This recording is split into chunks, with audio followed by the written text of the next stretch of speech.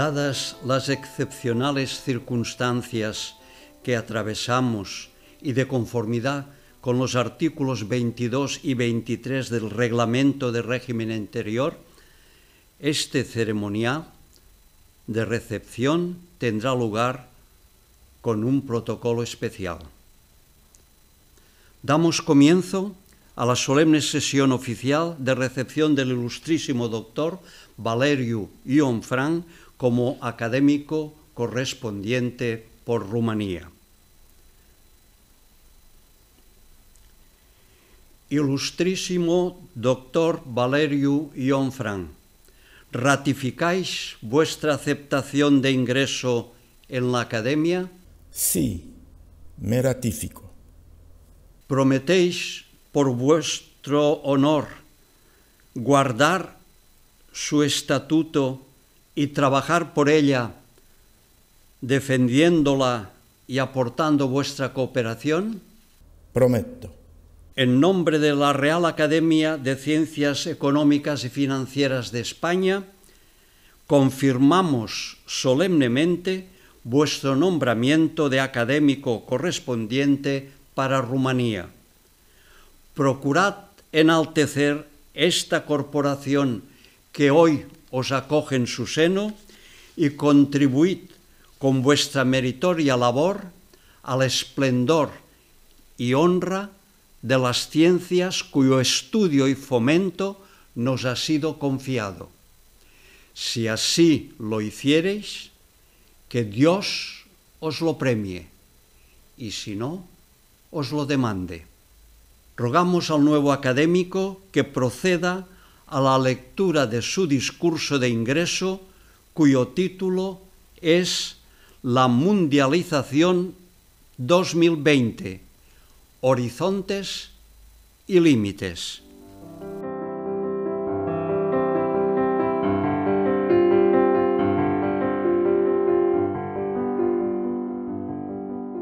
Ilustrísime Monsieur l'académicien Jaime Kilaluja, président de l'Académie. Excellence, Monsieur le vice-président Isidro Fainé. Excellence, Monsieur le secrétaire général Fernando Casado, Mesdames et Messieurs, membres de l'Académie.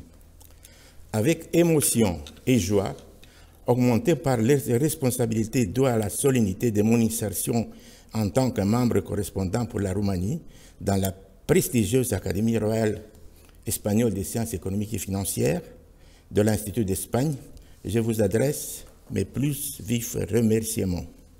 Je considère que ma présence devant vous est avant tout un signe de gratitude pour mon institut, l'Institut national de recherche économique de Bucarest, pour l'Académie roumaine et pour la Roumanie. Conformément aux procédures internes de la RACEF, je présenterai mon discours en roumain. Le texte rédigé en espagnol et en français est mis aux dispozițiuni. Democratizarea unei părți din ce în ce mai mari a omenirii prin expansiunea modelului economiei de piață, însoțită de modificări structurale și de putere economică, a constituit dimensiunea globalizării interacțiunii actorilor implicați. Globalizarea a devenit cea mai nouă formă de mondializare, cuprinzând simultan politicul, economicul, tehnologia, cultura, comunicațiile și cunoașterea. În interpretarea noastră, pornim de la o definiție a globalizării consacrată încă din 2006, chiar dacă ea nu dă imaginea clară a consecințelor sale sociale. Citez. Globalizarea este un proces dinamic de liberalizare, deschidere și integrare internațională pe o serie largă de piețe, de la muncă la bunuri și de la servicii la capital și tehnologie. Încheia citatul. Este, de fapt, o definiție a promisiunilor bune ale globalizării.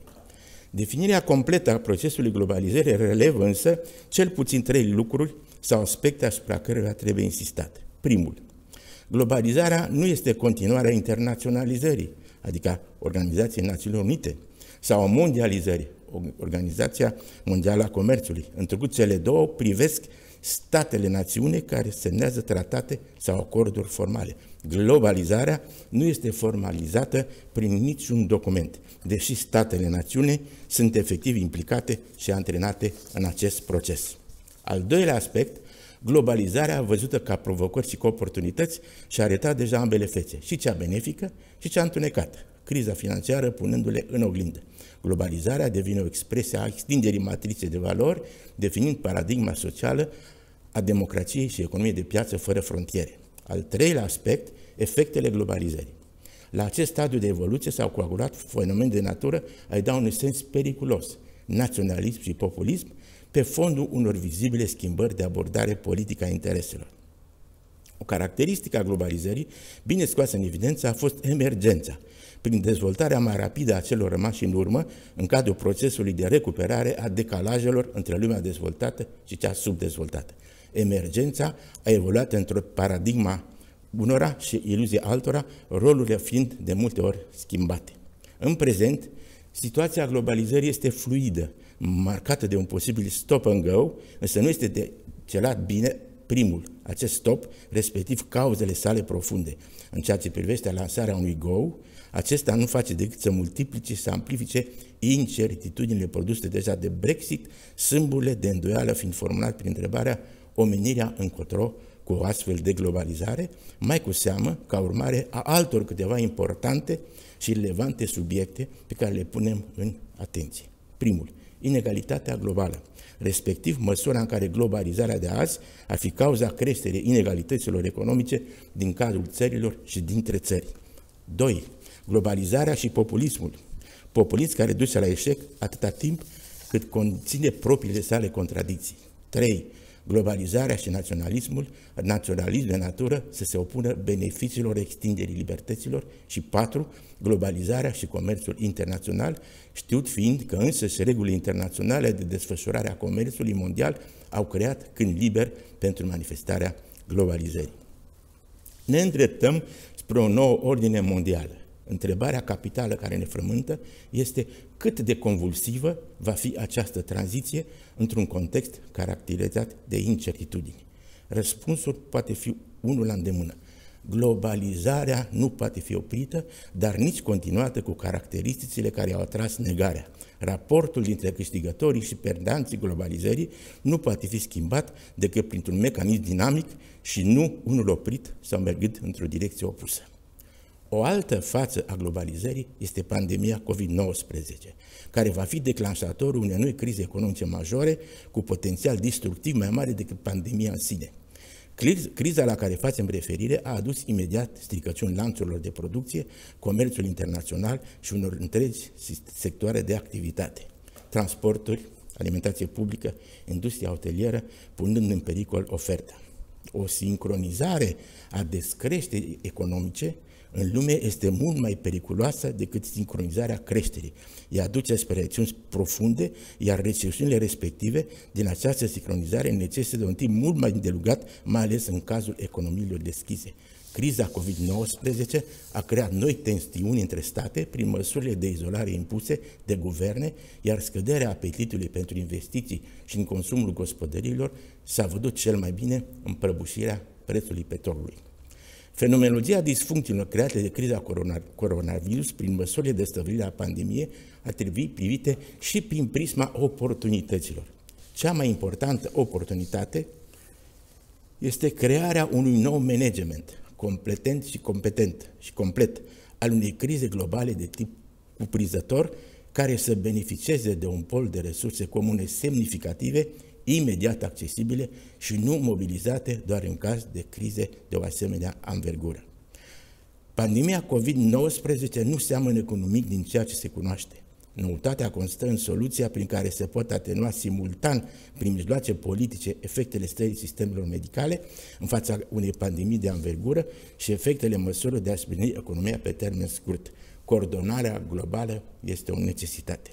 Citindu-l pe Noah Harari, a alege ca lumea să nu fie unită înseamnă să pregătești terenul pentru o viitoare catastrofă și mai mare. În schimb, o solidaritate globală prin cooperare și coordonare ar fi, citez, o victorie nu numai împotriva coronavirusului, ci împotriva tuturor epidemiilor și crizelor viitoare care ar putea asalta omenirea în secolul 21.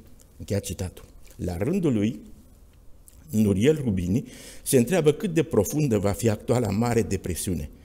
Aserțiunea lui vine din constatarea că efectele pandemiei COVID-19 au intrat în spirală necontrolabilă, urmarea a nepregătirii pentru ea, a întârzierii și insuficienței măsurilor puse în mișcare.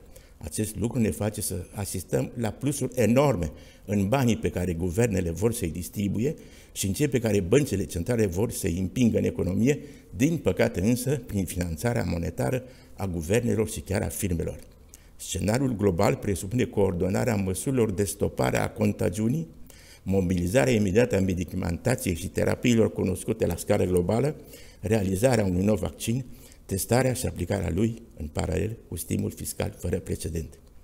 Nu trebuie uitat niciun moment că sănătatea populației este însăși o resursă rară, fiind astfel, astfel obiect al economiei, economie care, la rândul ei, joacă un rol determinant în asigurarea bunăstării și, prin urmare, a păcii sociale. În materia sănătății populației ne putem, nu putem vorbi de costuri de oportunitate, deoarece, după cum arăta încă în 2008 laureatul Nobel pentru Economie Joseph Stiglitz, cităm, costurile pentru societate sunt evident mult mai mari decât cele care apar în bugetele guvernului. Închideam citatul. Știm cu toții că viața oamenilor este neprețuită și, în consecință, nu putem limita fondul costurile pentru asigurarea ei, însă limita cheltuielilor pentru asigurarea sănătății populației este dată de performanțele economiei statului, o neglijare a aspectelor economice fiind sinonimă cu dezinteresul pentru sănătate. Nici o țară nu pare să fi dezvoltat preventiv mecanismele, procedurile adecvate limitării sau chiar anichilării șocului economic al unei pandemii. Nu întâmplător, Principalul subiect aflat pe agenda liderilor statelor lumii este legat de intervențiile non-farmaceutice, bine cunoscuta mască, apoi distanțarea fizică, sanitară sau spălatul pe mâini. Guvernele responsabile au luat deja decizia relaxării măsurilor specifice, singura întrebare, aflată încă în dezbatere, fiind aceea legată de momentul renunțării la acestea și revenirea la un mediu economic fără astfel de constrângeri. Pentru globalizare se întrevăd noi orizonturi. Primul ar fi criza de după criză. Globalizarea, criza financiară și cea pandemică, precum și efectele împletite ale acestora și modul de răstogorire a lor, consemnate ca dezechilibre, inegalități, inechități, sărăcire, îndatorare, etc., toate în expansiune structurală și geografică, suscită o întrebare complexă a ajuns capitalismul un model economic la limita eșuării sau ce s-a întâmplat în interiorul acestuia ca să fie rejectat? Un rezultat evident este migrarea socialului spre partidele populiste, radicale, xenofobe, cu literi cu putere de influență și de decizie în creștere, sistemul global pierzându-și coerența. Globalizarea, ultima criză financiară și criza de după criza pandemică ne conduc spre aceeași concluzie. Insuficiența nereprezentativitatea și necuprinderea actualei ordini a schimbărilor structurale în raportul global de forțe și al intereselor actorilor globali. Unul din primii critici care au intuit și semnalat creșterea inegalităților în economiile lumii, începută cu anii 80, este Thomas Piketty. În lucrarea lui Capitalul secolului 21, el a prezentat și soluția, taxarea averilor, pe care o dezvoltă în noua sa lucrare din 2019, Capital și ideologie.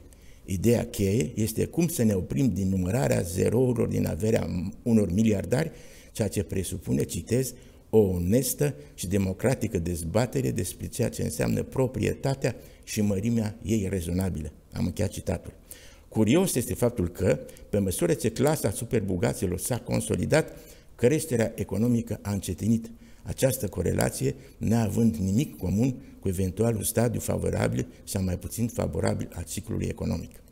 Joseph Stiglitz rezumă la rândul că exacerbarea economiei pe piață liberale, cu indicatorul ei cei mai relevant, profitul cantitativ, pe fondul globalizării, este cauza subminării democrației și a suveranității popoarelor, a sărăcirii acestora și sursa inegalităților. Mersul economiei numai în parametri de profit ne-a dus la criza schimbărilor climatice, simbol de fapt al eșecului dezvoltării durabile propagate deja de decenii. Neoliberalismul a, deschis clasa, a distrus clasa de mijloc ca stâlp a conviețuirii sociale, a creat și a adâncit prăpastia dintre privilegiați și dezavantajați șanse egale ca principiu al democrației devenind iluzie. Un al doilea orizont pentru globalizare este spre nou normal. Dar cum? Deși economiile s-au deschis, iar factorii contributori la dezvoltarea calitativă s-au multiplicat, creșterea economică a fost validată permanent prin extensie, prin consumul mai mare de orice. În plan economic, s-a mizat mereu pe creșterea extensivă a tuturor factorilor, capital, forță de muncă, timp de lucru, productivitate, sprijinită de genul tehnologic al omenirii, precum și de creșterea populației și a consumului. Preocupările pentru mediu, accentuate de schimbările climatice, ne spun că planeta Pământ nu mai poate accepta creștere economice extensive, iar pandemia ne atrage atenția asupra faptului că, dacă omul pierde sustenabilitatea vieții printr-un atac biologic, întregul edificiu civilizațional se poate prăbuși. Revenirea economică este considerată și mai grea și mai îndelungată și nu se poate îndrepta decât spre o altă normalitate. Normalul prezent este în prăbușire. Caracteristicile pandemiei prin care trecem, cu voia sau fără voia noastră, iată o altă incertitudine, ne-au îndemnat nu numai spre o economie verde, ci și spre noi forme de a ne organiza viața, munca, producția, consumul, investițiile, fie la nivel național, fie la nivel global. Christine Lagarde, președinta Băncii Centrale Europene, a repetat de câteva ori același mesaj. În timp ce datele sugerează o revenire puternică în trimestrul 3, se referea domnia sa atunci, în anul 2020, puterea de redresării rămâne semnificativ incertă, inegală și incompletă. Sunt tot mai multe voci care repetă că de acum încolo pandemiile vor face parte implicit din viața noastră, iar tocmai acest lucru a generat ideea lumii în schimbare, schimbarea sau lumii pe care trebuie să o acceptăm, pregătindu-ne pentru ea, posibil fără ca nimic să nu mai semene cu ceea ce a fost. Dacă tranziția nu va fi business as usual, va trebui să ne gândim la semnificația sociofilozofică a celor trei cuvinte prin care Lagarde a caracterizat redresarea din actuala pandemie. Incertă, inegală și incompletă. Acest lucru este necesar dacă vrem să înțelegem ce înseamnă noua paradigmă în care am putea să ne ducem viața eliberată de fricile momentului. Incertitudinea este cel mai mare dușman al coerenței gândirii umane, iar ea este responsabilă de inegalitățile pe care le producem în lanț și de incompletitudinea deciziilor. Schimbarea de paradigmă ne convinge în sensul că business as usual nu mai poate fi aplicabil ceea ce am admis că, ca devieri temporale de la regulile comune economice, începând cu criza financiară și terminând cu șocul pandemiei, va deveni regula noului normal al noii structuri de care avem nevoie în gândirea noastră, nu numai economică, ci în toate domeniile care definesc relaționarea cu planeta, cu resursele ei. Economia verde va fi întoarcerea la momentul când gândirea economică a luat-o razna prin a decreta că singura eficiență constă în profit.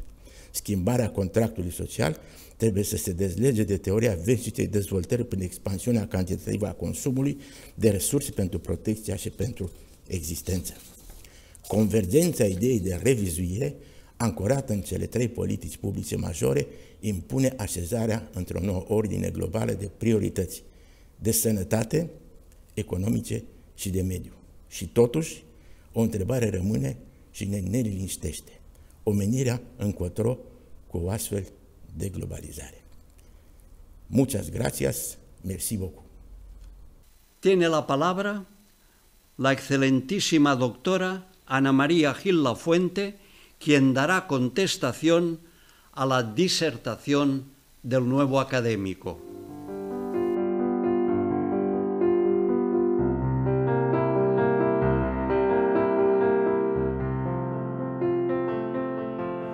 Excelentísimo señor presidente, excelentísimas y excelentísimos señores académicos, señoras y señores.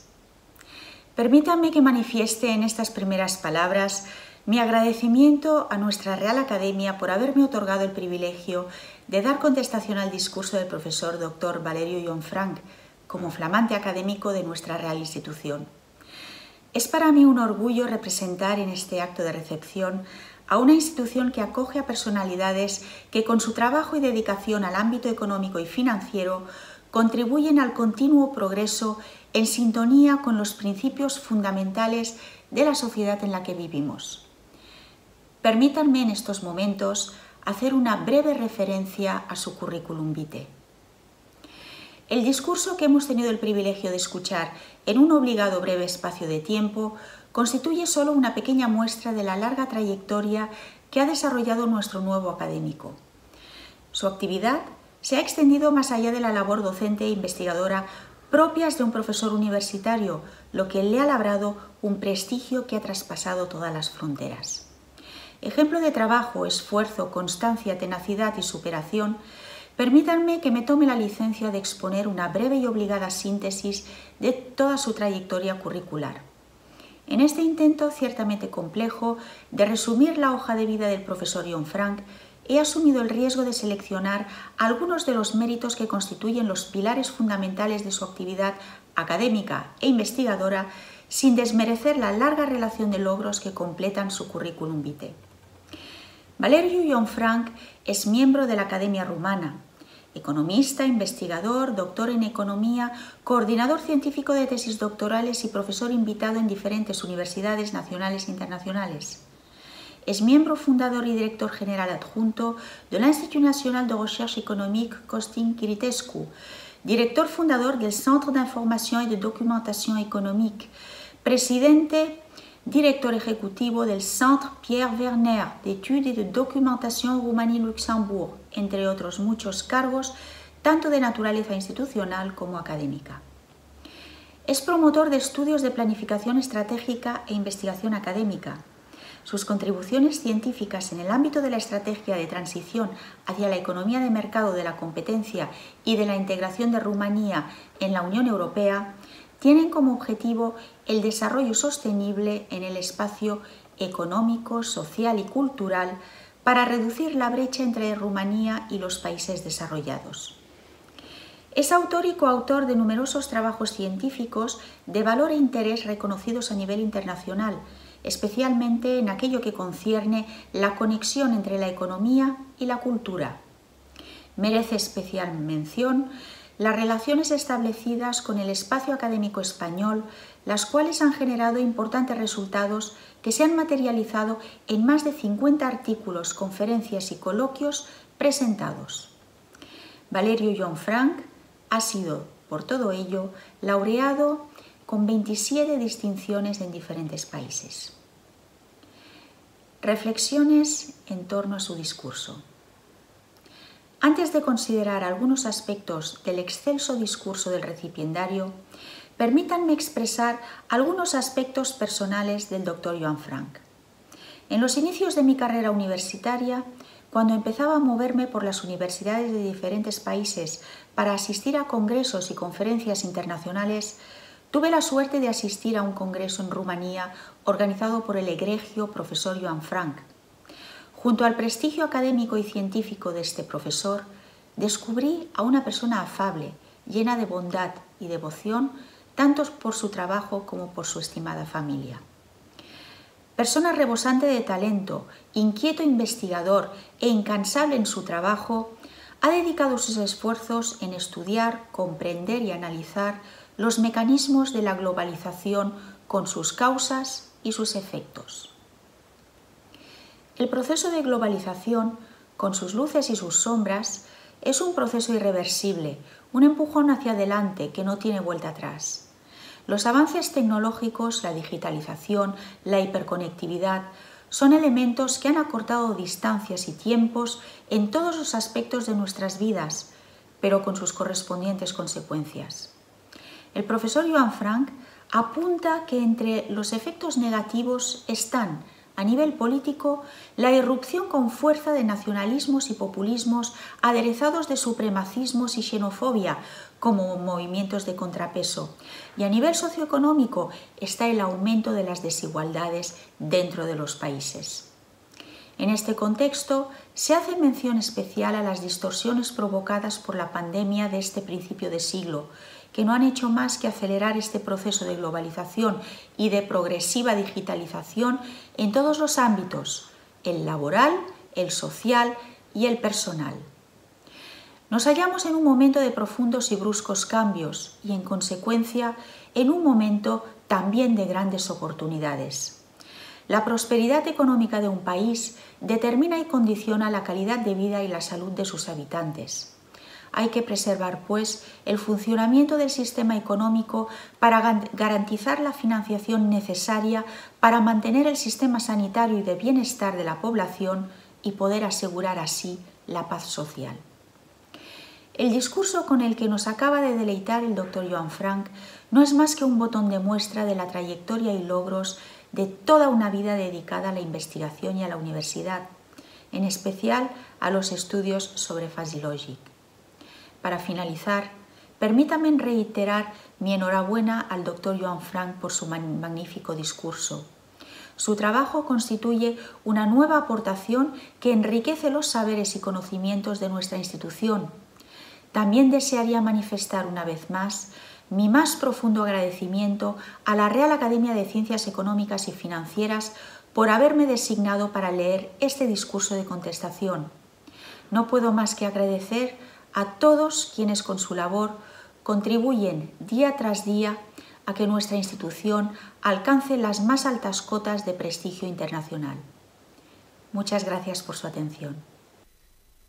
Este solemne acto de recepción tiene para este presidente un significado especial por cuanto pone en relieve una nación, Rumanía, tan querida y paradójicamente durante demasiado tiempo tan olvidada. La ceremonia que está finalizando incorpora a nuestra Real Corporación una ilustre personalidad rumana el ilustrísimo doctor Valerio Ionfran, académico de la Academia de Ciencias de su país y miembro de la Barcelona Economics Network, que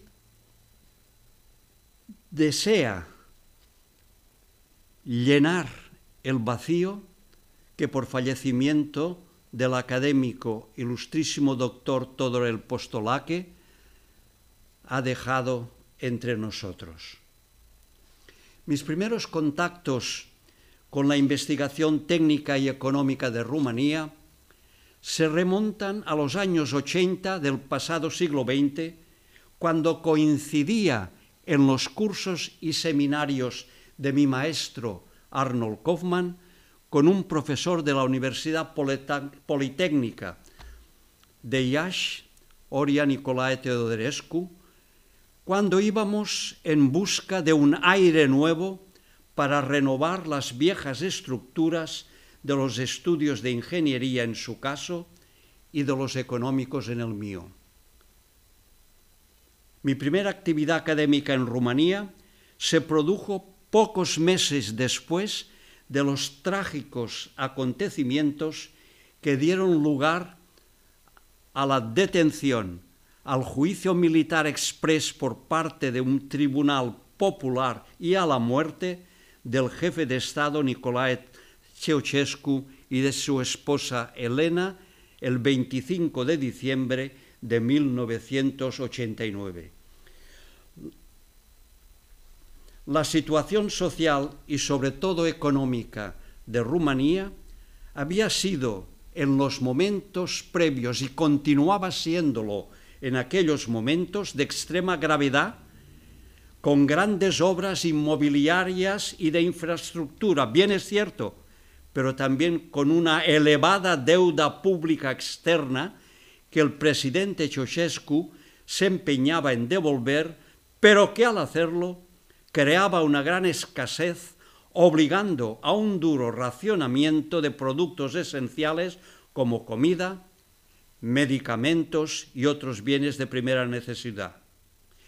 No es extraño que en una situación como esta, los intelectuales rumanos pensaran que el ejemplo de la guerra civil española podía ser de utilidad para intentar salir del agujero hondo en el que estaban sumidos. Llovieron las propuestas que evidentemente atendimos dentro de nuestras modestas posibilidades. A raíz de estas propuestas, conocí a las más altas y relevantes personalidades tanto de la esfera política como Ion Iliescu, Petre Román, Emil Constantinescu, Adrián Nastase, religiosas como el patriarca Teoctis, Monseñor Joan Robu, Virgil Bercea, Cassian Gracium, entre otros muchos.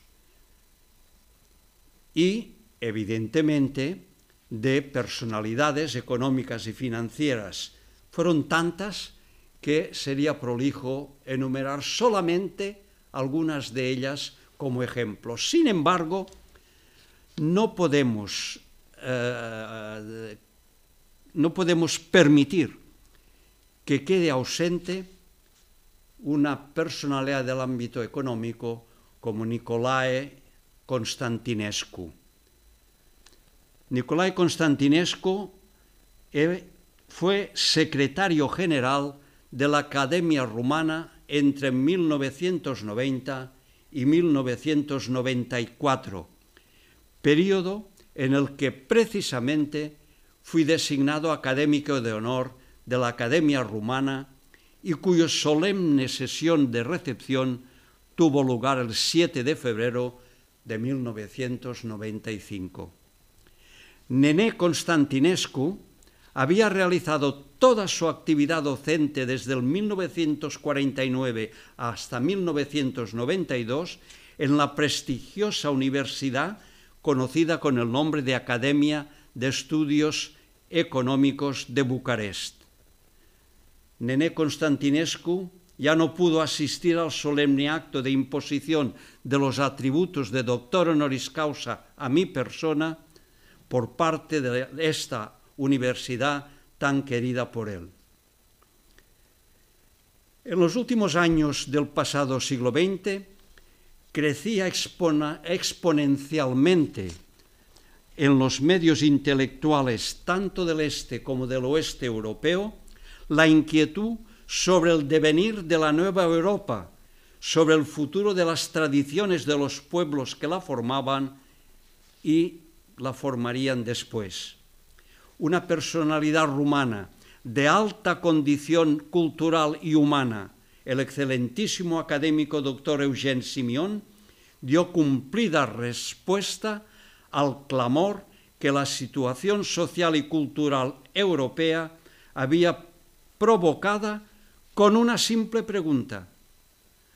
¿Por qué el humanismo encarnado en los hombres de la ciencia, de la cultura, de las artes, no puede mantener un permanente diálogo en su seno con independencia de las estructuras administrativas y de gestión de Bruselas. La genial idea del académico Eugène Simeón, con la inigualable colaboración de la excelentísima doctora Maya Simionescu, cristalizó con el seminario coloquio Pensée l'Europe, que desde la primera edición en el año 2002 se ha ido reuniendo anualmente en Sinaia, Brasov y Bucarest. Y en estas reuniones se discutía y se discute sobre la identidad europea, las culturas y las religiones de Europa, sobre el Estatuto de las Lenguas Nacionales, sobre el Estatuto de las Minorías, etc. Junto con el añorado presidente de la antigua Real Academia de Doctores Catalana, el excelentísimo doctor José Casajuana, fuimos invitados a formar parte del grupo inicial de participantes. En la segunda reunión de 2003 presentamos sendas ponencias y poco después la Real Academia de Ciencias Económicas y Financieras de España era una de las instituciones coorganizadoras del evento. Allí tuve el honor y el privilegio de conocer al hoy académico correspondiente para Rumanía, ilustrísimo doctor Valerio Ionfran. La continua colaboración posterior con el profesor Valerio Ionfran y con la Academia Rumana y mi participación al encuentro anual Pansel Europe me permitieron conocer y trabajar con importantes personalidades de la ciencia económica y a gestores de la actividad financiera de este país latino. En el ámbito de las finanzas, el prestigio internacional del ilustrísimo doctor Muguri Sarescu es conocido y su trabajo ha sido reconocido en todos los continentes. Académico numerario de la Academia Rumana, su actividad docente e investigadora ha merecido los más altos elogios y recibido importantes premios y distinciones. El 21 de febrero de 2008 se incorporó a nuestra Real Corporación como académico correspondiente por Rumanía, con un memorable discurso sobre las importantes vertientes de la política monetaria en una economía emergente como era la rumana. Mucho esperamos en el futuro todavía de este gran académico. El 15 de febrero de 2007 leyó su discurso de recepción a la Real Academia de Ciencias Económicas y Financieras, quien fuera el primer intelectual de Rumanía en ostentar el honor de representar este país como académico correspondiente. Nos referimos al ilustrísimo doctor Tudorel Postolaque. Profesor universitario vocacional, ejerció su labor docente e investigadora desde 1959 en varios centros de enseñanza superior, pero adquirió su gran prestigio como presidente de la comisión encargada de elaborar la estrategia de Rumanía para la entrada en la Unión Europea. El acto que hoy hemos organizado telemáticamente va destinado a dar continuidad a las tareas por él realizadas en nuestra Real Corporación. Y para ello ha sido propuesto, elegido y nombrado académico correspondiente para Rumanía a otro intelectual, el ilustrísimo doctor Valerio Ionfran, quien hoy se incorpora a esta Real Academia del Instituto de España con todos los honores. No corresponde ahora a este presidente glosar su figura y su obra. Se acaba de hacer en la contestación reglamentaria a su discurso en este mismo escenario virtual.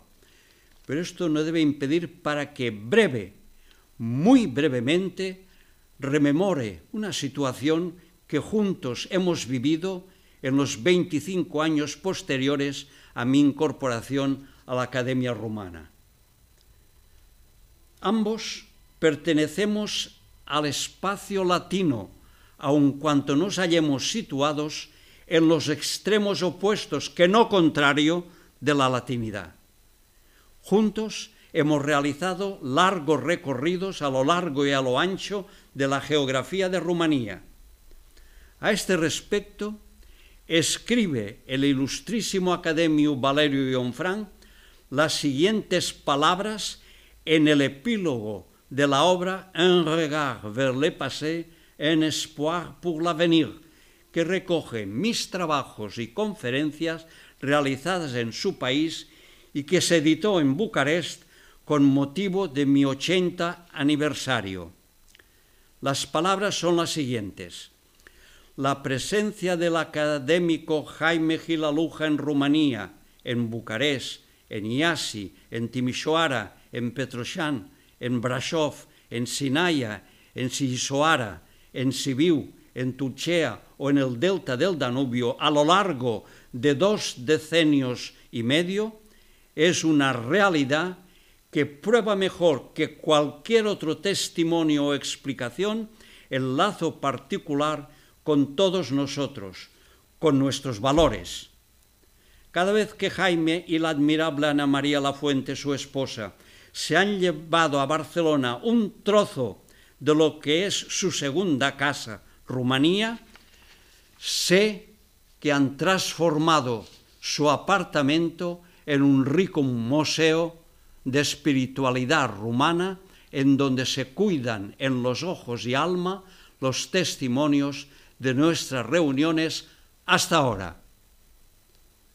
Sí, querido académico y estimado amigo, estas bellas palabras que reflejan una bondad y una generosidad que sólo anidan en el espíritu de los más grandes, nos van a seguir acompañando también a partir de ahora para continuar siendo fieles con los deberes que en este acto ha prometido cumplir.